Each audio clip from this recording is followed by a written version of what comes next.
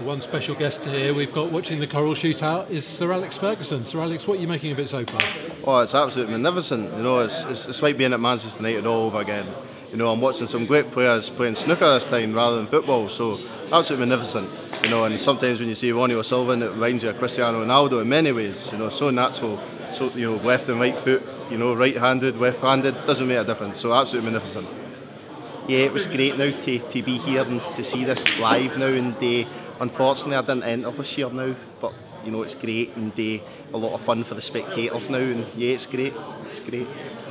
Yeah, I didn't enter it this year. I thought that I'm going to take a year off and then come back to Q School next year, and hopefully that that can be the tournament for me.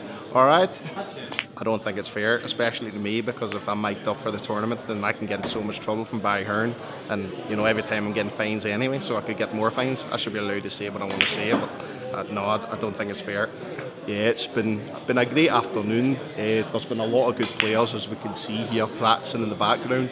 You know, it's been great, and uh, I think you know there's a, a, winner out here somewhere. I think I think this could be maybe a man. That's how big a lottery it is. Well, I just come down to see what it was like, and I'm loving it. It's great. You know, I can't, can't wait to come next year.